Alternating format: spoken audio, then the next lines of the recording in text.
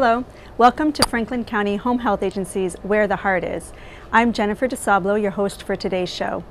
Franklin County Home Health Agency is a nonprofit organization that has been providing home health care and hospice services to people of all ages throughout Franklin County since 1969. We are happy to bring you this monthly show dedicated to offering information about our agency's programs and services, as well as helpful tips to help you and your loved ones stay safe and healthy at home. On today's program, we'll be talking about the important work of assessing for and preventing falls, especially in our senior population. And to talk about that, I have two members from Franklin County Home Health Agency's adult rehab team. Marissa Hurley, a physical therapist who has been on the show before talking about physical therapy. Thank you for coming back. Oh, no problem, Jen. and Ariel T uh, Teitelbaum, mm -hmm. and you are an occupational therapist at Franklin right. County Home Health. So again, thank you both for being here. And before we start talking about today's program, which is uh, preventing falls in the senior population or understanding what falls mean for that population, let's just uh, remind us a little bit about physical therapy at Franklin County Home Health, Marissa, and what brought you to that home care setting. All right. Well. Um, home health PT, um, once you get out of the hospital, we help you stay out of the hospital. So a lot of debility and weakness. So if we can keep you strong enough to stay on your feet and stay home with your family through the holidays, we know we've done our job. Awesome, thank you. And how about you, Ariel, with occupational therapy? So a lot of what we focus on with occupational therapy are um, making modifications to people's home, finding the right equipment to help them keep doing what they really want to do. Like say they want to take a shower, but they're they're worried about falling or something while they're in the shower. We can help figure out what is the best equipment for them. Mm -hmm. We do a lot of training on energy conservation, and um, we do uh, some stuff with cognition and vision too. So we're kind of a broad mm-hmm. group. Mm -hmm. Yeah. Great. And you two work obviously work yes. closely together yeah, yes, as a team. Physical therapy, occupational therapy, and of course we have a speech therapist in our adult rehab program as well. Yes. Um, so what brought you to the home care setting? Uh, well, what attracts you? What attracts us? Well, I don't know. It's just it's nice to see them in their homes mm -hmm. and it's it's different than being in the hospital where you have a set structured day and you know they must do this they must do this um, at home they, they get to do what they want mm -hmm. and you know, what's important to them so the goal setting is a lot more functional mm -hmm. which i really enjoy mm -hmm. i agree i think it's the functional nature of being at home mm-hmm. and being able to help people be independent in what's important to them yeah. so we don't have to simulate stuff we can go and do the actual thing mm-hmm. and i think um, the recommendations we make for PT and OT are very realistic mm -hmm. in mm-hmm. terms of what's really going to work. Because you're right there in their own right. environment, you can talk about how their bed looks versus a hospital right. We're not pretending. We're not simulating. We can actually try it and see. Very good. So both of you work with our adult rehab. So talk um, before we talk about falls in particular. But what kind of patients do you see? What age range? Um, what, what kind of conditions are they seeing? We see a pretty general group of conditions, and most of our people that we see are probably over the age of 60, but not always. Mm -hmm. We mm-hmm. do see some people who have cancer who are much younger. Or, you know, joint replacements that, you know, their knees wore out a little early, active sure. lifestyles. Yeah. So, but this time of year, we do get an influx of folks that do unfortunately have a slip and fall. Right. Um, that's the biggest time of year when you get a hip fracture is sure. this time of year because the ice is everywhere. Right. Yeah. So that's sort of why we're here today because exactly. that's why. yep, we're taping now. It's yeah. winter. We're right in right. the throes of icy conditions and uh, snow and just bumpy areas. So yeah, it falls, uh, and especially in this population that you see in the 60 and older, the senior population. Why? What? What's so scary about falls? Why is it so important to understand what that means to this population? Do you want me to? Well, well a lot of times it's harder to recover when you're older. Mm -hmm. So that's a big thing. It's not like when you're a kid and you fall and you break your arm and then you wear a cast for like a month and then you're fine, you know, that's it. Well, With older adults, it just, it's a lot, there's a lot of other complicating factors mm-hmm. usually and they just take longer to recover. Sure. Yeah, some of those would include, you know, low bone density, so the fracture could be much worse than mm -hmm. if they were younger. Um, if they have a sedentary lifestyle to begin with and they're not getting back up there and doing what they need to do to heal and to build the strength back. So there's a lot more to worry about when folks are older. Okay, so talk. You, you mentioned low bone density, per, perhaps osteoporosis mm -hmm. or certain conditions. What are the other risk factors that uh, contribute to this population being at risk for falls?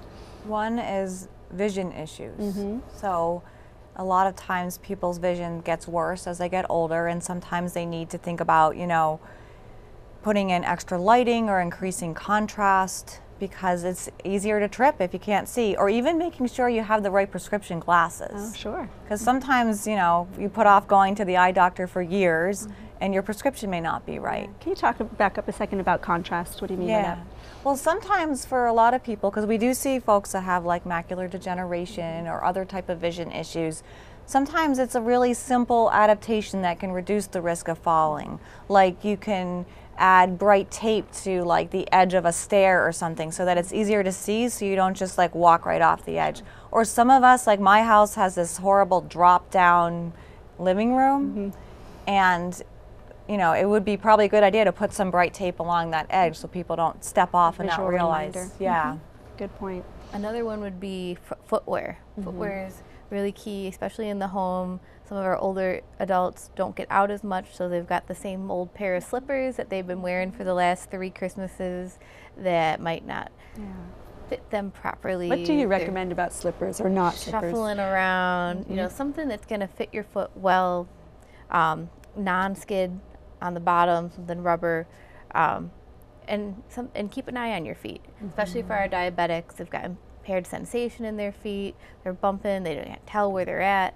So, you know, a little bit of um, preventative stuff. Thinking And- about what you're going to need to do. I'm glad you mentioned the foot care. We, we always try to remind the community that we offer a foot clinic at Franklin County Home Health Agency and around the community, and that's a great place for folks to have a chance for someone to be looking at their feet while they're doing the nails and cutting the nails and things, but also gives a chance to check in on that, and of course, their doctor. Um, so you're talking more about uh, some of the, you're beginning to talk a little bit about diseases and things that are intrinsic to person, their eyes or their bones, but you're also talking a little bit about the environment. So Yeah. There's a lot of risk Yeah, factors. Environment's huge. Um, pets are a huge risk factor for falls. Yeah. Um, we see folks where their little dog or cat is at their side for the whole visit, every visit. They're not going anywhere, running up and down in between the legs of the walker. Um, and um, the reaction time for some of our older adults isn't what it used to be. Mm-hmm. So it's tough to tell Fluffy to get out of the way. They're great companions and they need them, but we need to watch what, Yeah. where we're stepping. Sure. Um, what, are, what are some other physical risk factors? Well, one thing is medications. So sometimes people go to like their right, their primary doctor, and then they have all these specialists. And sometimes everybody doesn't always know all the things you're being prescribed. So, and if you're taking too many medications that have like a sedative effect or affect your thinking, it can put you at a higher risk of falling. So, one thing you uh, people can do is like make sure your primary has the full list, so that you know you can make sure you're not accidentally over medicating yourself. Thank you. Especially Yeah. with um, drops in blood pressure. That's Yeah. another big one that we see. So talk about that. How does that affect your body? um, if you are on uh, too much blood pressure medication and it drops suddenly when you stand up, um, you might have a change in position very quickly. Yeah. So a lot of education on some things that you could do to combat that. We always ask folks when they first stand up if they're feeling dizzy, don't just head out. Yeah. Give yourself a few seconds, take some deep breaths, make sure that you've got your feet underneath you mm-hmm. before you start going. And some of that can be easily changed with um, this dosage changes with- with your doctor. Mm-hmm. With medicine, or I imagine with watching what you're eating, if certain things might affect someone's sugar level at another time, or mm-hmm. Yeah. Good. Um, what about, you're talking a lot about uh, going to the doctor. Let's talk about that team approach to this. Who all is involved? We have a physical therapist and occupational therapist here, but how, how do we work as a team to, to help this situation, preventing We falls? have nurses as well, and they're really great for medication management. So they get the, all the medications that you're on, and they can go through, and if there's any discrepancies, they'll let the doctor know. But we all kind of, we really work as a team. So, like Marissa might be working with someone on how to get stronger so that they're not they don't fear falling as much and they can their legs can support them better. While i might be working with them on you know changing things in their environment so that they're safer doing all of these tasks. You know what I mean? So we really, and we work pretty closely together. Sure. So- so would one program refer uh, someone to the next program? You don't start off with everything at once until you start seeing it. Um, in some cases, the doctor do. kind of knows going in that they're going to need all of us in some way, shape, or form. And then there's other occasions where I might just get called in and then do, through the course of my evaluation notice they might really need Ariel for this if it's outside my scope. There is some overlap in what we do. We're both very involved in home safety equipment, but um, there's definitely times where I definitely need Ariel's expertise for a few of the little nuance. And vice versa. Yeah, yeah, Yeah. very good. And of course, the patient is at the center of this team in that situation. Like you said, with home care, that's what's so so great about home care. You have their their their own space and, Right. and specific to them. So, what a great uh, gift for a patient to have so many people caring about you and looking out for you. And about how long might you? I guess every case is different, but how long do services last with patients, depending on It if somebody totally came out of the hospital? It really Yeah, depends. yeah. as long as they is there's a skilled need. Mm-hmm. Uh, unfortunately, we can't stick around because you like us. That's usually the case. You know, you get so to likable. know someone, and we really enjoy spending time with them. But if we teach them the skills that they need to be safe and independent, Mm-hmm. and then we, you know, we graduate them on, and then they could, you know, usually the family takes over from there. Yeah, and that's I'm glad you mentioned that. it is the goal of home care, right Yes. there. Mhm, Teaching and independence, and we're, we're Yeah. able to do that. And we often work with, I mean, sometimes the goal is the person themselves will be completely independent, and sometimes it's like that family group, like the person and their spouse. Sure. So we do a lot of family training. Yeah, because as you're talking, I'm thinking of someone living alone, but like you said, there can be a spouse there, and, and you're going to need to have them looking out for Yeah. environmental factors and, and whatnot. Very good. So let's talk a little bit more about um, that environment. You did mention a few things, uh, very good advice about using some bright tape or things that bring attention. What else can happen in the home? Maybe Oh, walk I from thought- room to room and give us some environmental. Well, one thing that's helpful is have a light by your bed so Mm-hmm. that when you have to get up and go to the bathroom in the middle of the night, you can turn the light on and not be like staggering around in the dark. Um, Another one would be throw rugs. They look nice, but um, if you use a device to walk, um, legs of walkers always get caught up on the edge of your carpet. Yeah. Um, if you can take them up, please do. If not, use some double-sided tape, some sort of grip pad to keep it securely adhered to the ground. That's a great idea. And in the, the bathroom's kind of a spot where a lot of people have a lot of fear because, you know, it can be slippery when you're wet, when you're getting in and out of the shower. So often we'll make recommendations about grab bars, like grab bar placement. Um, and sometimes people want something to sit on in the shower so that they don't have to worry about falling. So there's a lot of different options for that, and we'll, you know, assess how the person moves and what they really need and their situation in their bathroom, and make recommendations for that. Yeah. So simple things you can add to uh, Oh, yeah. the bathroom. Grab bars that can be installed very easily, and and Yes. talking about seats and bath mat, uh, non-slip things. I'm thinking Mm-hmm. of in the shower. Sure, uh, maybe a handheld A shower. handheld shower is another really good option for people. Yeah. Yeah. Good. And then they get to the outside of the house, and we make sure that you keep, you know, salt or some sort of de-icer on your back steps. Um, you don't want to get almost home for your doctor's appointment just to have to turn around and go back. Yeah. Uh, we also brought some yak tracks with Oh, us, yeah. didn't we? Yeah. So I use these because we're walking around in the ice, and these just fit right over your shoe. I don't know if I can show. Sure. If Will you can it- get your foot up there. So they're actually really easy to use, and they just fit right over your shoe. And then they're really wonderful in the ice. They really give you a good grip. Just take them off when you're in the house because they'll ruin your hardwood floors. And they're slippery on tile, oh yes. which yeah. so they're really great for the ice though. Great. So if you're out walking around, I recommend that people at least, or at least if they're not going to do this, then get good boots. Yeah. You're not walking around in like your slippery, kind of springy sneakers. Well, these are the great. ice. I'm thinking, you know, it is the giving season, and you've got some nice Yeah. ideas. And what a great little stocking stuffer Yeah, for folks. stocking Yes, and stuffer. you can get them at the hardware store. You can get them at the sporting goods store. You can find them pretty much anywhere up here in Vermont. Yeah, So. one size fits all. I think so. Well, Yeah, They're pretty Smaller stretchy. most, Yeah. simple tips like that. But also, like you said, um, using salt, even just shoveling or keeping it clear. Yeah. Imagine. hmm Um, what about uh, the kitchen? Let's going back to inside for a minute and going. You talked about the the, the bathroom and the, the floors and lighting, but specific to the kitchen, are there concerns about falling? Well, I think one thing that you want to think about in your whole house is clutter. Because a lot of us, are, I myself included, are clutterers. And when you're, say, you're using a walker or a cane, you know, when you have clutter all over the place, it makes it easier to trip. So in your kitchen, you know, just try to make, or all your, in your dining room, whatever, try to make your spaces more clear. The, you know, a lot of people have throw rugs in their kitchen, so using the taping down strategy or getting rid of the throw rugs. But Yeah. yeah, I think that would be Very good. So another thing you mentioned earlier, you said briefly, was about energy conservation. Um, tell us what that is, um, and how do you help people work on energy conservation? Well, one of the comorbidities that a lot of our folks have is COPD. And our folks with COPD, um, well, one, they're, they're afraid of not being able to breathe, so they limit what they're doing. When you're limiting what you're doing, you're getting weaker. When you're getting weaker, you're not able to keep your balance because you're not practicing those strategies.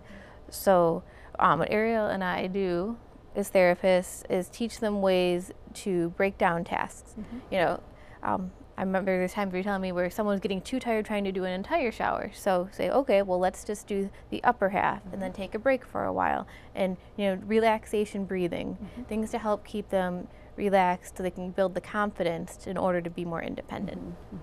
It's a good, good point. I mean, wouldn't think about falling and you know just breathing, having Yeah. to be like a Anxiety factor. is a huge Anxiety. factor. Yeah, talk about that some more. The fear. Well, the biggest risk factor we've been reading about in our research for this interview is the biggest predictor of a fall is a prior fall. Mm-hmm. Right. Mm-hmm. That fear really limits a lot of our folks because they said, well, I can't fall if I don't move. Yeah. And then a whole host of things can happen after that. So if we can help them combat that fear and figuring out what's actually at the root of their problem, it's not usually an inability, it's just being afraid that they'll, you know, they might not have gotten hurt the first time, but now they know Yeah. that it could happen. So it's like a snowball effect. They're, they Right. fell. It was a horrible experience. They now they're afraid, and they're like you said, they're not building strength because they aren't moving like they used to. So you come in and help them regain strength in that um, just confidence. I guess you're saying that's that's a good point. So you know they're preventable. This is a preventable thing, like you said. If you, you give people confidence and tools and tips, but they do happen. Um, no matter what we do, accidents happen, falls happen. Uh, what what happens then? What's the first thing uh, if a caregiver is nearby and someone fa- falls? What do you tell them to do? Well, we usually tell people to call 911 because it's you can get injured trying to lift your loved one off the floor. So generally, we don't recommend doing that. So normally we say, you know, if they do fall, then call 911. Good point. We do also have a lot of our folks um, at least get information on the lifeline system or um, just the bracelet or the necklace. Sometimes, if folks live alone, you don't even have to press the pendant. It's motion activated, so it can tell Yeah, if you've fallen. so that's a really nice tool for Yeah. you know if your loved one is alone for a good portion of the day. Yeah, that's great. And we do training on how to get off the ground. Yeah. Because sometimes maybe you fall, but you didn't get hurt and you mm-hmm. just kind of like slid off your chair or mm-hmm. something. I mean, Marissa was just doing this with somebody the other day. How do you help somebody or how do you get off the ground? So that's a skill that the PTs often work with people on. Yeah, that's good. You, you have fallen and you might not need to call somebody or you might need to just get up to the Right. chair to then talk with somebody about maybe being concerned about the fall Right. or, or having been hurt. Yeah, Yeah. good point. And so um, any other prevention measures we haven't mentioned that you'd want to bring up? Well, if they haven't had a fall yet, and we get in and there's some basic ways for us to assess mm-hmm. how high of a risk they are. Mm-hmm. Um, there are some just questionnaire tools where it's a self-assessment. Mm-hmm. We that- have one of those which you can assess yourself. Right. So they, some they- questions. yeah, and yes or Yeah, no. the fall efficacy scale. And mm-hmm. you can get it on the internet too. The fall efficacy scale. Okay. Yep. So it's just asking you if you're concerned about getting dressed or undressed, how you're making meals, getting in and out of your chairs. So something easy to go Yeah, through. and you rate yourself, Yep. and then it can give you a little feedback on where areas of concern are. Yeah, to share. And then during our actual assessments, there's a few um, quick tests that we can do. There's one called the timed up and go test, or the tug, if you want the therapy lingo, where we just ask um, the client to stand up um, with or without a device, depending on the person, walk 10 feet at a speed that feels comfortable for them, turn around, come back, and sit back down in the chair. Mm-hmm. Based on the amount of time that that takes, that gives us an idea of their fall risk. Mm-hmm. For a healthy individual, it should take under 12 seconds. Mm-hmm.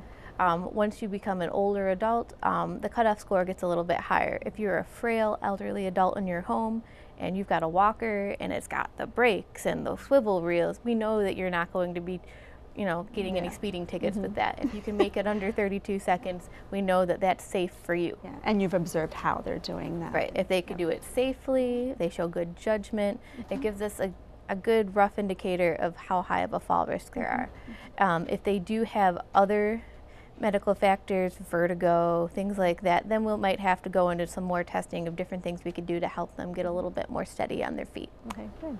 So assessing early on and, and reassessing and making sure that your plan of care is appropriate. Yes. Yeah, very good. Um, what about res other resources uh, that people can go to for concerns about falls or um, you know, places that, where they might be able to buy things, or you mentioned online. Do you have any other resources yeah, there's a ton of websites that are dedicated to um, like giving older adults or any adults mm-hmm. information on falls. That the one where I got that one from, mm-hmm. which I'm not sure if I wrote down. Mm-hmm. But um, if you even just look online, there's a lot of information basically outlining what we've talked about today on mm-hmm. things you can do in your home and how to stay active. Mm-hmm. Staying active is probably one of the best things you can do for yourself in terms of keeping your body strong, keeping your bones as strong as possible, you know, so that you can retain your physical ability and reduce your risk of falling. Mm-hmm. So that's one thing everyone can do. It can be at many different levels. It doesn't have to be like running three miles or whatever. it could be like doing like chair aerobics mm-hmm. even or chair yoga or tai chi or there's a ton of different options that work on balance and coordination and strength that can help i think all older adults to whatever level um, kind of retain their physical ability to reduce their fall mm-hmm. risk absolutely staying active yeah. or i'm sure you do show exercises like she said you can do yes. in a chair or somewhere yeah you know, can, anything that you can show us here or talk about? Well, um, it depends on the individual. Mm-hmm. Some folks, they, you know, if their energy level doesn't allow them to do too much standing, there could be a lot of upper body stuff. Mm-hmm. A lot of it centers around your core strength and stability. So if you see them in their yeah. in their chair all day, but you know, even just getting them to sit up straight and activate that core musculature, everything starts from the middle.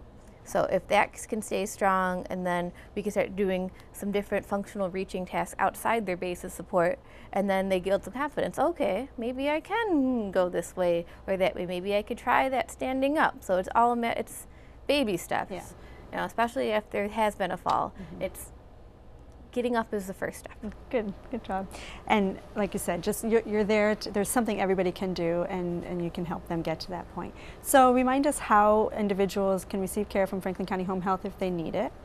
Well, you have to be referred from a physician. Mm-hmm. So I think if you feel like you're getting weaker and you need assistance and help from us, um, you would call your doctor and ask for a referral. Mm-hmm.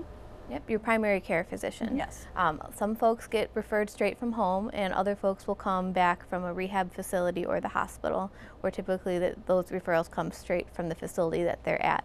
But if you're home, nothing's happened yet, but you notice some changes, go see your primary care physician and we can see what we can do to help you. Excellent. So we want individuals to do that, talk to their doctor, loved ones who are concerned to encourage them to talk yeah. with a doctor or on a visit with them to bring these issues up so that it doesn't get an oversight. So we want to prevent these falls. Thank you ladies for um, all the work you do in Franklin County and for, for so many people. We really appreciate your work and thanks for coming in today and talking about this topic. And uh, if anybody watching has questions about preventing falls, as Ariel and Marissa mentioned, you can check things out online. We also have a website. You can learn more about our agency's programs and services at www.fchha.org. And you can call us at 802 527 7531. We thank you for watching today and be well.